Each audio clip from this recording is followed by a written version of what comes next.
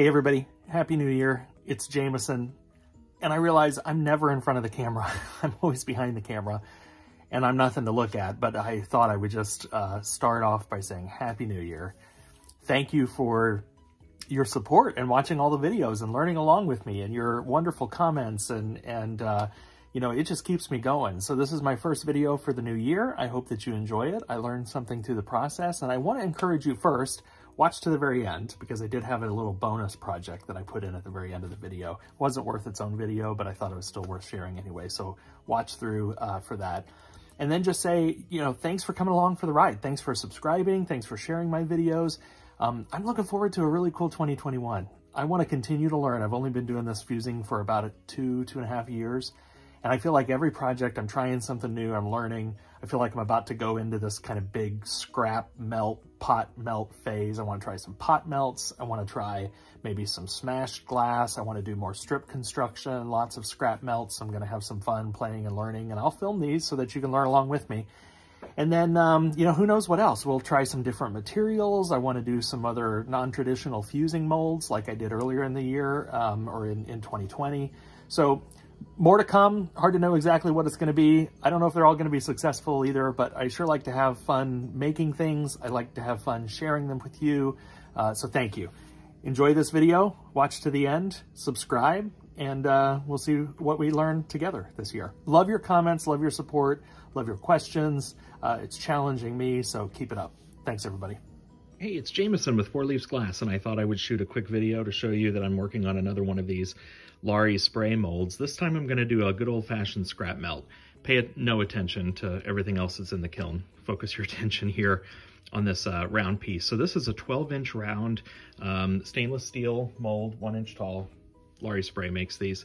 And um, I also bought from her the one inch um, tall, eighth inch thick uh, fiber paper and made a ring around there. I put a little piece of Papyros behind there just in case I get a little glass leakage.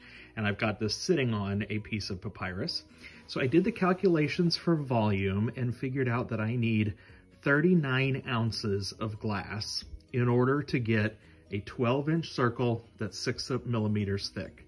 So stay tuned and I'll show you how I'm getting my glass for this scrap melt. So I had a piece, uh, um, actually two different pieces of um, peacock blue glass from Bullseye with a clear cap, clear Tekta, that I fused that didn't work. I got big bubbles in them and I was really frustrated. I kept the glass and I busted it up into a bunch of smaller pieces and then I used my frit piston, I'll put a link to this, but I bought this frit piston and I um, just hammered the hell out of it, to be honest, in the frit piston. And then I sorted it in um, these sorters. So I think that there are others that are available, but these are some frit sorters. And so there's this is a four-piece set. Uh, I'll post a link to this as well. You got a fine mesh screen on the bottom, then another mesh screen, a little bit larger, another one a little bit larger, and finally the fourth one that's really large. And you put your crushed pieces from here into your frit sifter, and this will help you get coarse, medium, fine, and powder, ultimately. Uh, and then there's also, uh, because this is because this is uh, metal, you're going to get maybe little metal fragments. So there's a, a magnet to use uh, to get the the any metal fragments out of your out of your frit. And then, not to make you dizzy, but then you end up with something like this. So I had some really large chunks, which is great. This is what I'm going to use. You can see um, how that's, uh, you know, peacock, and then it's capped with clear. So I've got a layer of clear in there. I've got these large pieces that I'm going to use in the um, in the melt, but then I also got, um, let's see here, some various sizes. I got some, you know, quite larger chunks of frit kind of extra coarse, if you will, and then some coarse. This is all, these are two ounce cups, and uh, almost every one of them is, is full. So I've got um, some coarse there, some uh, medium at the bottom, finer, and then some powder. I don't know if this is going to turn, if this powder would turn out to be any good. I think the others would be fine. I'm not sure. I've never used Peacock as a powder because Bullseye doesn't sell it. So we'll see how it fires. I'll, I'll try something. Maybe I'll shoot a video and do something like that later. But that's not why we're here. These are the larger frit pieces. What I've done is I've washed them up and then I am measuring them. Follow me along back across my tiny little studio. Got a, a scale here and I'm measuring out the pieces of, of uh, this fractured up glass to get me to 39 ounces and then I will pile that up in the mold. Stay tuned and I'll show you what that looks like. Okay, now I didn't have enough of the um, peacock alone, so I had a bunch of offcuts of Tekta here, so I piled up some of uh, these offcuts to get myself up to 39. Actually, I went to 40 just for good measure, uh, 39 grams. So what are ounces rather? What I am gonna do uh, is chop this up a little bit uh, smaller and kind of mix it all in so it's just all incorporated as, as part of the mixture. But I wanted to show you as a good tip here, not to get rid of your off cups. Always keep your scraps, particularly if you're gonna be doing scrap melts like this, because that glass comes to good use. It was nice to, to be able to fill up my bucket. Okay, so I chopped up that glass and um, I put it all in a, in a big bucket and then frankly dumped it in a huge pile right on top uh, in the middle here. That's not the way I'm gonna leave it though. I'm gonna push it out to the edge a little bit um, to help this glass spread out. Um, what you want though is not to get too much around the edge that you want it to climb up. You don't want spikes. Uh, you want to do as little cold working as possible. So, uh, and this is not my tip. I, I pulled this directly from uh, directions online, including uh, some tips from Laurie, um, that you want the glass to, to spread out to the fiber. Uh, but you don't want it up against the fiber to begin with because then it'll it'll get too many spikes. So I'm just going to smooth this out a little bit and then uh, we'll be ready to fire. Okay, I've spread this out now. Um, I've tried to be very careful around the edges. What I forgot to mention is that I did spray ZYP on this 1 8 fiber paper because I'd like for this to release cleanly so that I can use that fiber paper within that mold again. So um, I did spray ZYP in there and I've just been very careful not to get too much up on the edges uh, and not to knock any of that ZYP off into my work. Um, I was also just kind of looking around trying to make sure that I had a, a fairly even depth across this whole thing. And that in most cases all the areas had glass that was about two layers thick. You have to remember that these large chunks of peacock were already two layers thick to begin with. So um, in some cases there may just be one piece there, but that's okay because it's already kind of that two layer six millimeter thickness. So um, now we are going to fire this. I'll post the firing schedule in the show or in the in the video description right underneath this um, video. Just click the little caret and you can see the firing schedule. Let's see what it looks like when it comes out. Okay. Okay, so I opened this piece up and, um, you know, there just wasn't enough glass. So it's got some uh, kind of scallopy edges, if you will, where there wasn't enough glass at the edge. So a couple of thoughts. I may need to adjust the weight that I had planned for this. I had calculated the weight to be 39 grams, uh, and I had even cut 40 just to be on the safer side but uh, maybe I need to do a little bit more. Uh, it's probably a little thicker in the middle than on those edges. so that's just something to think about when you're doing your annealing schedule. Uh, so I am going to, I originally thought, I don't actually mind that edge. I mean, it's kind of a natural, almost kind of scallopy look all the way around, except for this area. There's not a lot of it here. Um, doesn't have to be uniform. Uh, but the, the melt itself turned out gorgeous. Um, but I think I'm gonna go ahead and just put some clear frit around the edges to try to get a nice clean edge on that. And rather than lift this out, I'm going to just very carefully wipe down the surface while it sits here on the on the paper and in the mold and not even do anything else to it. I'll wipe down the surface. And the reason I'm gonna do that is because um, there may have been some spalling that came from the mold the, or the stainless steel former, and I don't want that steel then to get trapped in there. So I'll add a little frit around the edges, not frit really, but just chopped up large pieces of Tekta to kind of get me to um, a nice full complete round circle and just refire it where it sits. But I think it's gorgeous as it is right now. Okay, I just wanted to show this to you quickly. So I did, um, I used some alcohol on a little cotton pad and this is all the black that came off the top of it. That's the spalling off of the mold and uh, or that stainless steel former. And if I hadn't cleaned this glass, I didn't want to pull it out and risk disrupting the paper underneath and the um, paper in within the form there. So I didn't want to pull it out to clean it. But if I hadn't cleaned it, all of this would be trapped in the glass then when I refire. Nobody wants that. Okay, here it is. I just opened the kiln. Looks great. Those areas filled in quite a bit.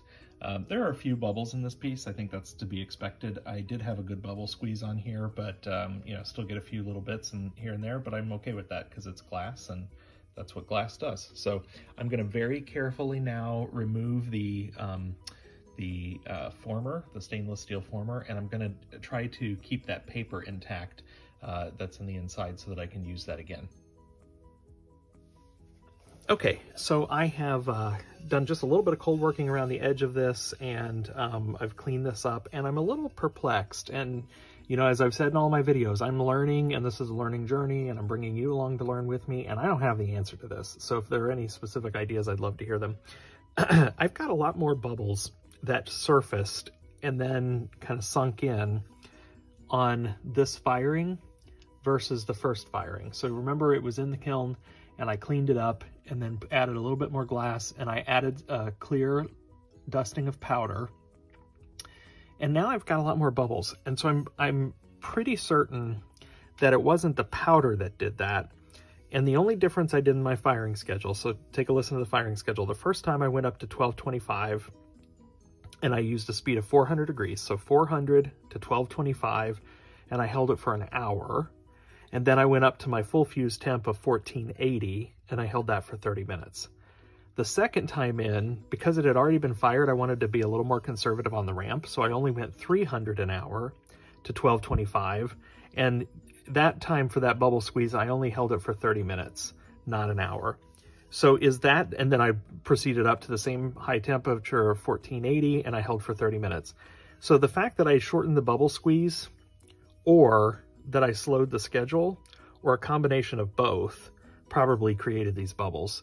I'd be curious what your opinions are.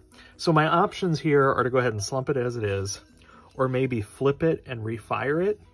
I just don't know that I want to put this piece in again, and I don't want to risk these bubbles then becoming bigger issues. So my choice is to go ahead and slump it. So I'll show you what that looks like next. Okay, everybody, here it is. Uh, I'm generally very pleased with this piece. I used um, one of Laurie Spray's bottomless molds, so I've got a nice flat bottom on this.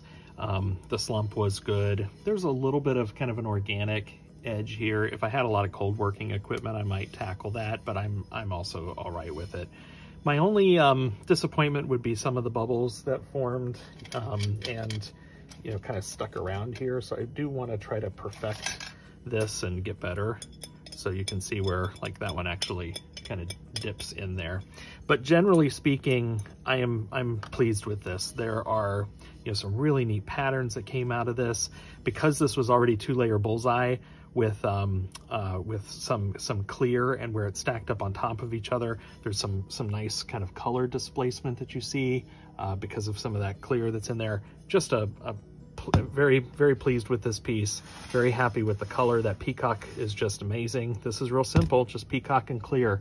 I got a really, really nice piece out of it. So hope you learned something. Uh, follow along in the learning journey by subscribing. And, um, uh, you know, this is a great example of using some scrap. These were, these were two pieces that had big bubbles in them. I think I've already mentioned that, that were kind of epic disasters. Frankly, I just was pissed off when it happened but I kept the glass, put it off to the side, decided how I would repurpose it, and then got something that I think is, is really pretty magnificent out of it. So I'm going to do more of these kind of scrap projects in the future. So subscribe if you want to see more of what I'm working on. Thank you.